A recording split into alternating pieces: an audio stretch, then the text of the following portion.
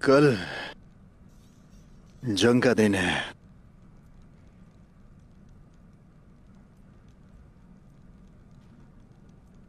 ये उनसे हिसाब का आखिरी दिन है।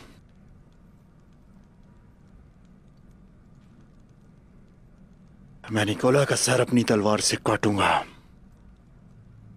और पायोजा का इंतकाम लूँगा। फ़िक्र ना करें, अम्मी जान। काफिरों को शिकस्त देकर खैरियत से वापस आ जाएँगे इंशाल्लाह। जहाद हमारी किस्मत में लिखा गया है। तुम जानती हो इसकी आदत डाल लो लीना। मेरे चारों तरफ़ सफ़ेद जगह थी पर सब कुछ सफ़ेद था। मेरे मुँह से परिंदा भी निकला फिर उसने पर फैलाए। वो उड़ने लगा और दूर जाने लगा और नज़रों से उछल हो गया। ऐसे जैसे किसी ने उसको आज़ाद कर दिया अम्मी जान किस तरह का परिंदा था वो? नहीं!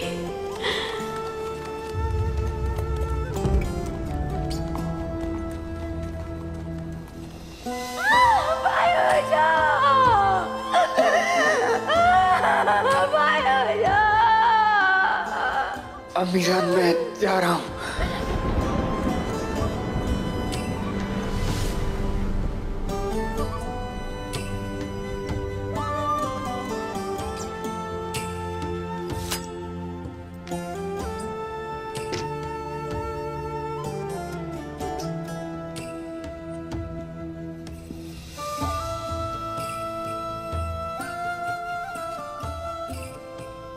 जहाद मुसलमानों पर फ़र्ज़ है।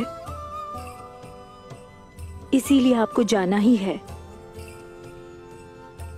जहाद मुसलमानों पर फ़र्ज़ है लीना। और तुम जानती हो कि ये गाजियों का सबसे अहम फ़र्ज़ है। जानती हूँ आप जाएँगी।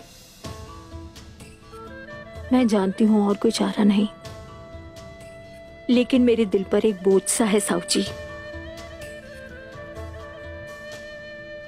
जब मैं फतेह के साथ वापस आऊँगा तो ये बोझ हल्का हो जाएगा। फ़िक्र मत करो, लीना। तुम्हें अकेला नहीं छोड़ूँगा। तुम्हें और अपने बहादुर बेटे को गले लगाने वापस ज़रूर आऊँगा। फ़िक्र मत करो। मैं तुम्हारे पास खुशखबरी लेकर आऊँगा।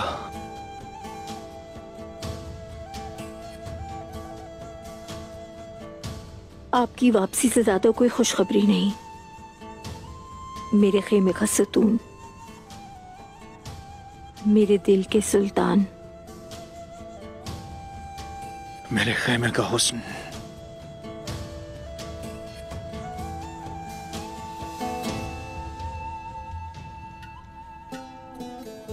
फाते बन के वापस आने की वजह,